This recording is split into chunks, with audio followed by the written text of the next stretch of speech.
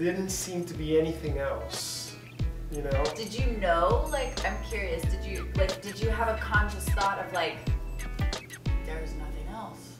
Like, what are we doing? Like, what was the shifting Well, point for you? The shifting point for me was I was dating an amazing, gorgeous girl, and she was beginning to get into vegetarian, and she was pushing me to open up my my mind, I guess, and and sh you know it began to get a little bit like she might leave and i'm like i don't want it you know like what do i you know i was really it was very interesting because i do remember thinking you know sometimes she'd talk about sacred sex and and i'm thinking and i'm thinking Yeah, but we all didn't know what that was before Exactly. we knew what that was. like, let's be real. and I I at that point for guys, all sex was sacred sex. But you know, yeah, there we go. exactly Like, and you're like why put a sacred in front of it? Like, who needs the extra word? Exactly.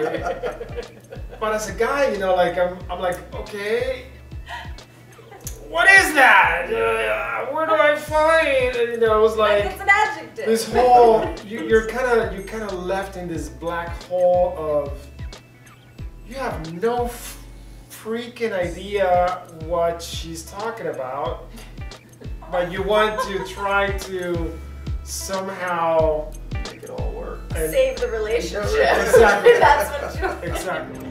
So we are here with what's your name? Mark. Mark. And so I was asking you what conscious relationships and sacred sex means to you when uh, when I say that. Like, what does that what does that pick up on?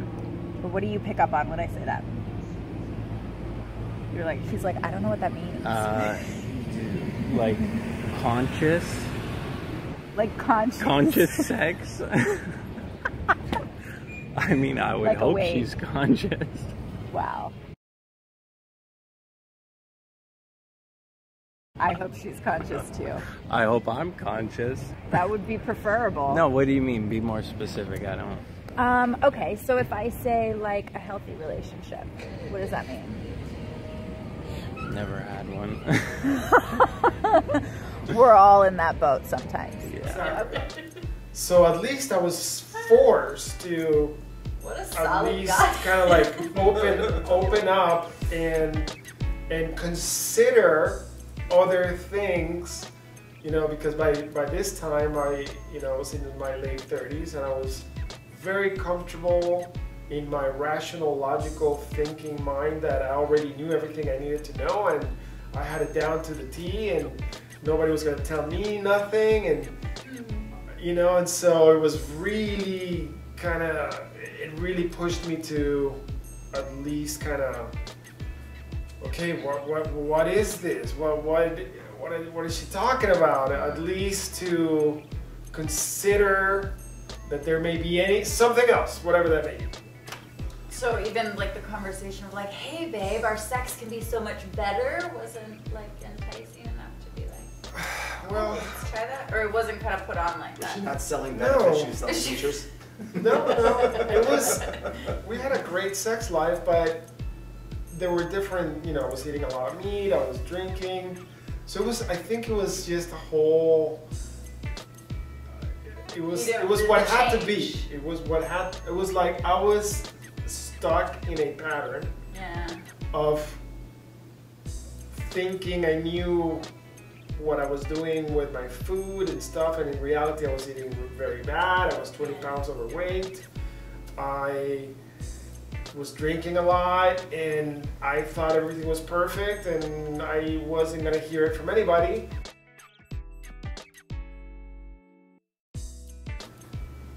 Except she at least you know the, the notion that she might leave me did force me to to to at least you know like okay it, it really kind of put me in a space of okay what what what, what is she talking about? And at least that started me in a path of trying to find some answers you know, even though I, I was fighting all the way. I, I you know, I was like, we were getting arguments in the supermarket because she wanted, she wanted organic. I'm like, it's the same, sh- it's the same stuff, you know. I'm like, all this stuff. I, I remember having this, this arguments with her and things like that, you know. And now I don't buy anything that's not organic, and mm. I have shifted my whole entire life.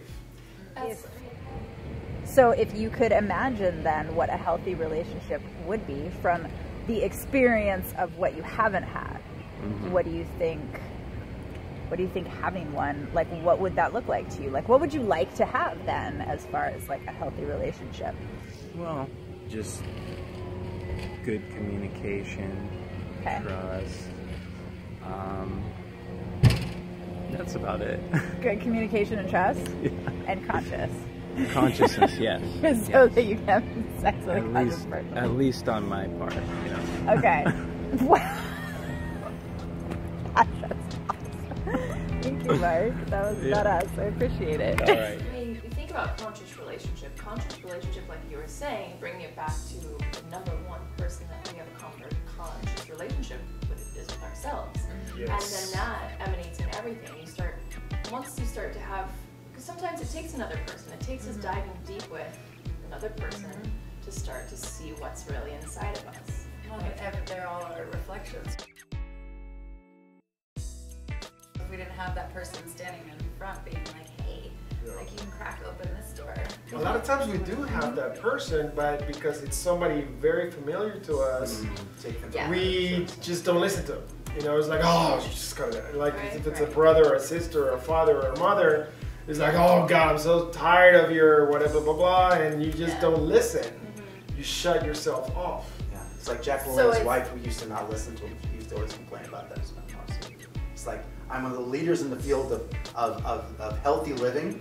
My wife doesn't listen. You know what I mean? Mm-hmm. Yeah. So it's almost like the fear of of losing somebody, which could be almost like a codependency kind of thing, was what actually led you then to finding your true authentic self, which on the flip side is your own sovereignty in a way. I think it just opened that path of at least me asking questions and mm-hmm. and that very slowly opened up. It wasn't a quick thing. It took mm-hmm. years and Well, you think about just to, to to touch on that. You think about consciousness. Consciousness is what we are. Mm-hmm. So the moment it has an opportunity to spark, it spreads. Mm. So if you have a window inside of you, there's just enough for it to seep in. It's gonna move, and once it unravels, it's like a sweater. It's just gonna keep going, and then we light each other up. And that's probably why we're all drawn here today and why we keep drawing people that are more conscious into our life because we're expanding every moment. And so those people that we draw in, they, they're expanding and that you, it's a movement happening right now. Yeah. All over. I got goosebumps thinking about it. you know, and super excited to be a part of that wave. Thank you so much for watching Seeking Serahtonin. I'm Serah D'Laine, your conscious lifestylist, guiding you on your path to holistic health and empowered living. If you've enjoyed watching these videos, please subscribe below and remember you can visit sovereign-alliance.com for my line of energy tools and fashionable frequency jewelry or to book a personal one-on-one conscious lifestylist consultation, please visit seekingserahtonin.com. See you on the next episode.